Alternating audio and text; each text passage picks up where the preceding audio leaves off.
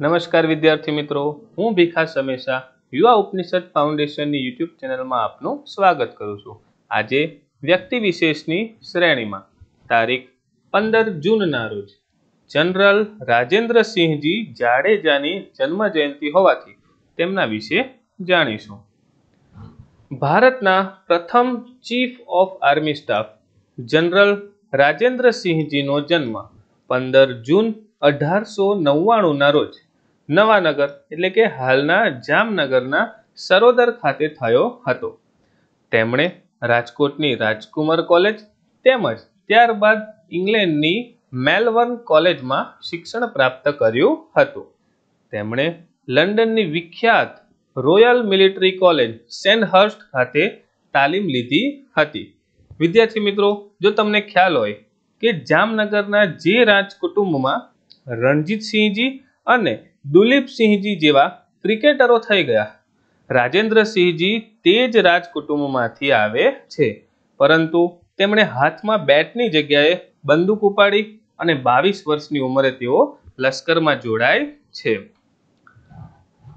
તેમની કારકિર્દીની જો વાત કરવામાં આવે, તો વર્ષ ઓગણીસો ને એકવીસમાં બ્રિટિશ ભારતીય આર્મીની સેકન્ડ રોયલ લાર્સન્સમાં અધિકારી તરીકે તેઓ જોડાયા હતા. ત્યારબાદ બીજા વિશ્વયુદ્ધ દરમિયાન, હા વિદ્યાર્થી મિત્રો, જો તેમના જીવનની કોઈ યાદગાર અને ખૂબ જ ખમીરવંતી જો યુદ્ધ કોઈ લડ્યું હોય અને ખૂબ જ જાણીતું કે જેનાથી તેમને પ્રતિષ્ઠા મળી હોય, તો તે આ બીજા વિશ્વયુદ્ધ દરમિયાન, તો બીજા વિશ્વયુદ્ધ દરમિયાન ઓગણીસો ને એકતાલીસમાં આફ્રિકાના યુદ્ધમાં જર્મની સામે રાજેન્દ્રસિંહજીને સ્ક્વોડ્રન કમાન્ડર તરીકે મોકલવામાં આવ્યા હતા. તે સમયે રાજેન્દ્રસિંહજીની આગેવાની હેઠળની ટુકડી થર્ડ ઇન્ડિયન મોર્ટર બ્રિગેડ સાથે મિચિલી તરફ આગળ વધી રહી હતી. ત્યાં જર્મનોએ તેમને ઘેરી લીધા હતા અને ત્યાં ઘમાસાન યુદ્ધ થયું હતું. દુશ્મનો પાસે આધુનિક શસ્ત્રો અને મજબૂત કવચ હતા. આ ઉપરાંત સૌથી મહત્વનું કે જર્મનો સતર્ક હતા. પરંતુ તે સમયે રાજેન્દ્રસિંહજીએ આ વ્યૂહની આગેવાની લઈ વીરતાપૂર્વક લડી. આખી ટુકડીને સહી સલામત પાછા લાવ્યા હતા અને અંગ્રેજોને જે લાગતું હતું એક સમયે કે આ હારી જશું, એવું આ યુદ્ધ તેમણે જીતમાં પરિવર્તિત કરી દીધું હતું. તેમની આ બહાદુરીને પગલે અંગ્રેજો દ્વારા ડીએસઓ એટલે કે ડિસ્ટિંગાઇઝડ સર્વિસ ઓર્ડરથી તેમને સન્માનિત કરવામાં આવ્યા હતા. આ તેમના જીવનની ખૂબ જ પ્રતિષ્ઠિત તેમની એક પદવી હતી. ત્યારબાદ તેમને બીજી રોયલ લાર્સન્સના કમાન્ડર પણ બનાવવામાં આવ્યા હતા. બીજા વિશ્વયુદ્ધનો તેમનો આ અનુભવ જોતા તેમને વોશિંગ્ટન ખાતે લોકસંપર્ક ખાતાના ડેપ્યુટી ડાયરેક્ટરનો હોદ્દો પણ પ્રાપ્ત થયો હતો. તેમણે આર્મ કોર્ટ્સના પ્રથમ ભારતીય નિર્દેશક તરીકે પણ ફરજ બજાવી હતી. આગળ જો જોઈએ મિત્રો, જમ્મુ કાશ્મીર મુદ્દે ભારત અને પાકિસ્તાન વચ્ચે જે યુદ્ધ થયું હતું, ત્યારે તેમણે સેના નાયક તરીકેની ભૂમિકા પણ ભજવી હતી. તેમણે દિલ્હી અને પૂર્વ પંજાબમાં કમાન્ડના જનરલ ઓફિસર તરીકે પણ ફરજ બજાવી હતી. મિત્રો, તમને ખ્યાલ જ હશે, ઓગણીસો સુડતાલીસમાં દેશ આઝાદ થયો ત્યારબાદ સરદાર વલ્લભભાઈ પટેલ દ્વારા દેશના તમામ રજવાડાઓને જોડી એ ભારત, એક અખંડ ભારતનું નિર્માણ કર્યું હતું. પરંતુ તે સમયે જુનાગઢ જમ્મુ કાશ્મીર અને હૈદરાબાદ આ ત્રણ રજવાડાઓ ભારત સંઘ સાથે જોડવાની ના પાડી હતી. આ સમયે સરદાર વલ્લભભાઈ પટેલ, કનૈયાલાલ મુનશી અને એચ એમ પટેલ દ્વારા હૈદરાબાદને ભારત સંઘ સાથે જોડવા માટે કુનેહપૂર્વક કામગીરી કરી રહ્યા હતા. પરંતુ હૈદરાબાદના નિઝામે લોકોને ઉશ્કેરતા ત્યાં રમખાણો ફાટી નીકળ્યા હતા. તે આથી સરદાર વલ્લભભાઈ પટેલ દ્વારા પોલીસ પગલું લેવાની ફરજ પડી હતી. તમને ખ્યાલ હશે વિદ્યાર્થી મિત્રો, હૈદરાબાદને પોલીસ પગલાની મદદથી ભારત સંઘ સાથે જોડવામાં આવતું, જેને ઓપરેશન પોલો તરીકે પણ ઓળખવામાં આવે છે. પરીક્ષામાં ઘણીવાર પૂછાયું છે, જીપીએસસી ક્લાસ વન, ટુ તેમજ અન્ય પરીક્ષાઓમાં કે ઓપરેશન પોલો શાની સાથે સંકળાયેલું છે? તો આ હૈદરાબાદને ભારત સંઘ સાથે જોડવા માટેનું આ ઓપરેશન હતું.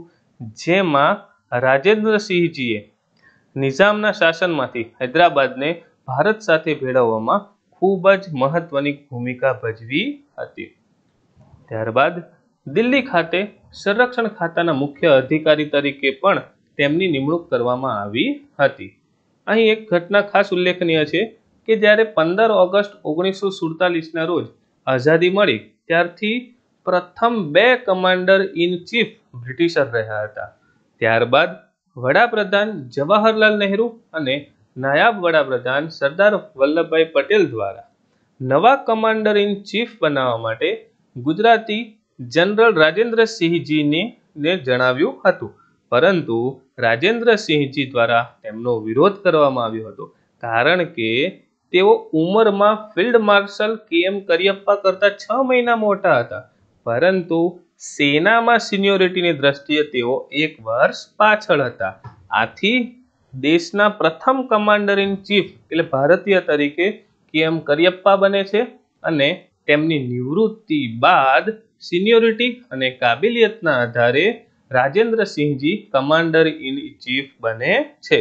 આ વિદ્યાર્થી મિત્રો, ભારતના બીજા, સોરી, બીજા ભારતીય કમાન્ડર ઇન ચીફ તરીકે તેઓ ચૌદ જાન્યુઆરી ઓગણીસો ત્રેપનથી એક એપ્રિલ ઓગણીસો પંચાવન સુધી સેવા આપે છે. પરંતુ એક એપ્રિલ ઓગણીસો પંચાવનથી જે આ કમાન્ડર ઇન ચીફની પોસ્ટ હતી, તેને બદલીને કરી દેવામાં આવે છે ચીફ ઓફ આર્મી સ્ટાફ. અને રાજેન્દ્રસિંહજી દેશના પ્રથમ ચીફ ઓફ આર્મી સ્ટાફ બને છે. ત્યાં તેઓ એક એપ્રિલ ઓગણીસો પંચાવનથી ચૌદ મે ઓગણીસો પંચાવન. એટલે કે તેઓ જ્યારે નિવૃત્ત થયા, નિવૃત્તિ તેમણે લીધી ચૌદ મે ઓગણીસો પંચાવન. ત્યાં સુધી તેઓએ ચીફ ઓફ આર્મી સ્ટાફ પદ તરીકે સેવા આપી હતી.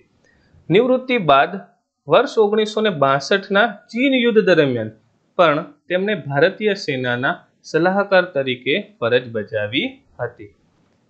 તેમને અનેક મેડલો મળ્યા હતા, સાહેબ. હા, વિદ્યાર્થી મિત્રો, તેમને વોર મેડલ ક્વીન એલિઝાબેથ દ્વિતીય coronation medal, Africa star, Burma star, king George પંચમ પંચમ સિલ્વર જ્યુબિલી અને વિશિષ્ટ સર્વિસ ઓર્ડરથી પણ નવાજવામાં આવ્યા હતા. આવા જ ભારતના વીર અને દેશભક્ત એવા રાજેન્દ્રસિંહજી જાડેજાનું નિધન એક જાન્યુઆરી ઓગણીસો ચોસઠના રોજ થાય છે. વિદ્યાર્થી મિત્રો, યુવા ઉપનિષદ પબ્લિકેશન સુરત દ્વારા અનેક પુસ્તકો પ્રકાશિત કરવામાં આવ્યા છે, જે તમને ક્લાસ થ્રી યુપીએસસી કે જીપીએસસીની પરીક્ષાઓમાં મદદ કરશે આ પુસ્તકો તમે ફ્લિપકાર્ટ તેમજ એમેઝોનના માધ્યમથી મંગાવી શકો છો, અથવા તો તમારા નજીકના બુક સ્ટોર પર પણ ઉપલબ્ધ હશે. જો આ વીડિયો તમને પસંદ આવ્યો હોય, તો લાઈક કરો શેર કરો સબસ્ક્રાઈબ કરો. જય હિન્દ, જય Bharat. Stay home stay safe